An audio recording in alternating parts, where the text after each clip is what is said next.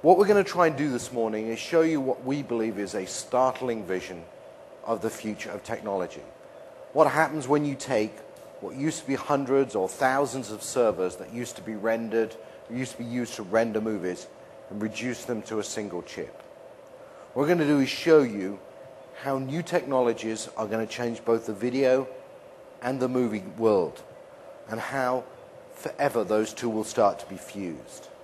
Now, picture, if you will, if we give developers the ability to create environments that look as real as the world that you and I live in, and pair that with some new and innovative ways of interacting with the games, and you've got the potential for creativity that simply hasn't existed before.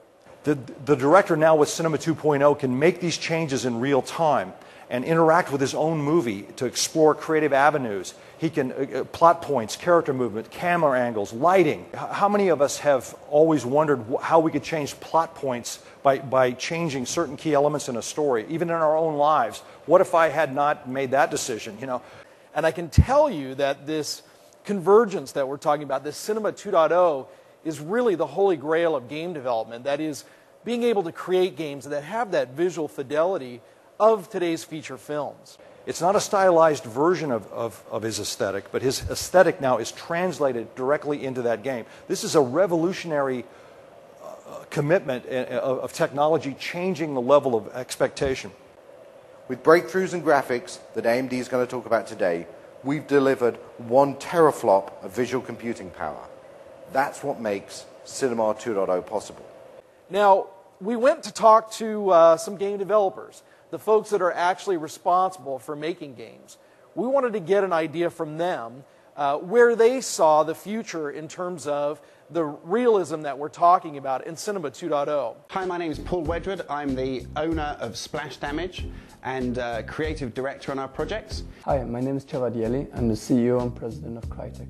Hi, I'm Chris Kingsley, CTO and co-founder of Rebellion. Hello, my name is David Braben. I'm chairman of Frontier Developments Limited. Hi, I'm Markus Mäki. I'm a development director and co-founder at Remedy Games. The holy grail of computer games is to get movie quality rendering and graphics in our games. Of course, they can't do this because movies get 45 minutes an hour to render a single frame where we have to do it real time. Today, uh, visual uh, animation and simulation is sort of the, the weak parts of the chain. I think we're still at least 10 years off from getting to that level of quality. I think we're, we're probably five years away from where you really have to think is that video or is that CG? So Hollywood does it already today, and games will do it appro approximately in three to five years too.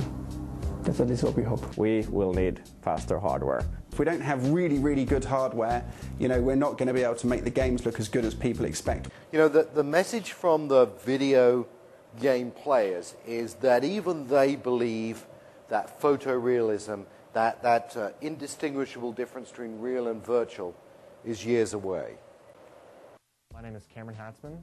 I'm 17 years old from Dallas, Texas. I've been playing PC games for about six years now. I'm Caliber from the Frag Dolls. I'm part of an all-female professional video gaming team. They're trying to look realistic, but they don't quite have it yet. Like computer games the way it is now to the you know the movie realism, uh, another 10 years. I'd give it like another four, or six years before we get real into like graphically photorealistic quality gaming. We don't believe it's seven years away. We believe it's today. I want to introduce you now to another pioneer. His name is Mr. Jules Urbach.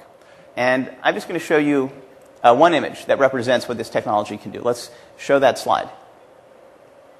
So I don't know if you can tell the difference between a photograph of Thomas Haden Church and a CG Thomas Haden Church that's been scanned in and rendered as a CG model using the light stage. Because really, it's an experimental technology that's, up until this point, has been in the laboratory.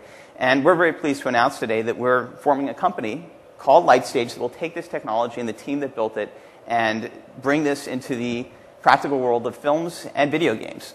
Uh, but the Lightstage captures so much data that you, you may have trouble believing that. So let's just play this clip and, and take a look. There you go. That looks pretty real to me.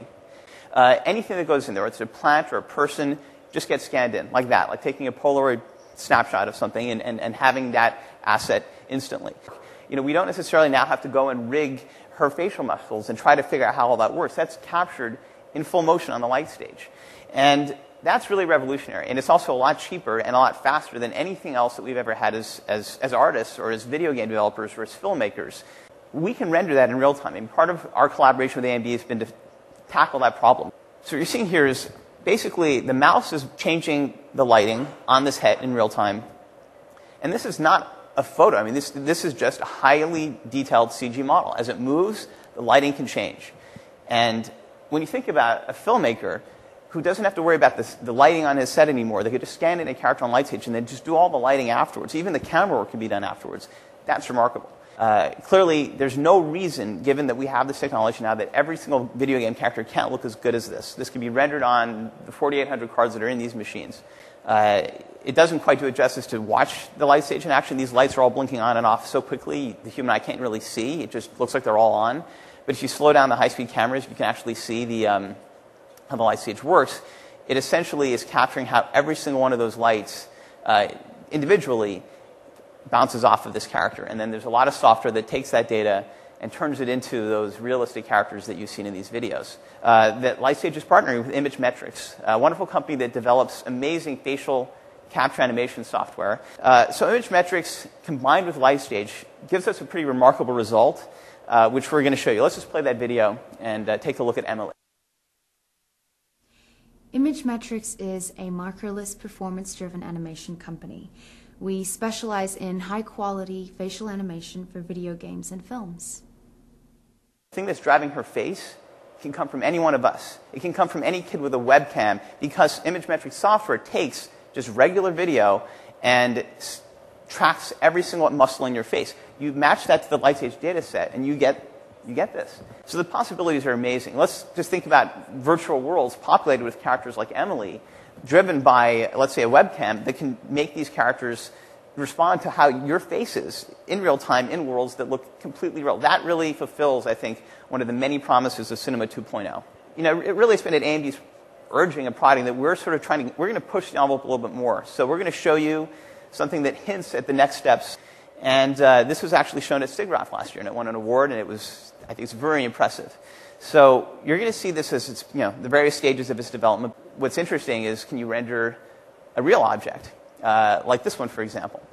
And uh, the answer is, yeah, you can. And this, at this point, we're, we're at Star Wars, at the level of Star Wars where Princess Leia is, is giving her message from R2D2. I mean, this is sci-fi made real. But I think what the most exciting promise of this technology is the light stage data that you've been seeing that looks so good, this projector was designed to render that data. And this, I think, is the future for, uh, for many, many, many industries. And it's just the beginning. And all those kids that were five videos back asking for characters that looked real and things that looked real, well, this is it. It's here today. It's, it's been here for a while. It's just been in a lab, and now it's going to be in your games. It's going to be in your films. I'm sure that uh, as we progress with this technology and as you see the next steps over the next few months that we're doing with AMD, you'll be very, very excited the, the power of Cinema 2.0 has been shown here today, and it's not, it's not the big things, it's the subtle, it's the nuance that, that Cinema 2.0 allows. I, I really believe that Cinema 2.0 is going to usher in a new level of expectation people have for the, for the user experience. Now it's available in a single chip. It's in a single chip the size of a dime. Tomorrow we announce the next step. We've taken two of those chips and put them on a single card. We call it the Radeon HD 4870 X2. So it's two of these teraflop chips on a single card. If you look round the corner of the room, the team have managed to get fundamentally every game console of the last 36 years. This, if you added all the power of those together, this new system is, is three times more powerful than all that technology. It's a, it's a huge leap. But it's technology available for the same price fundamentally as a game console is today. So it's not a niche solution, it's really a mass market solution. Cinema 2.0, wow.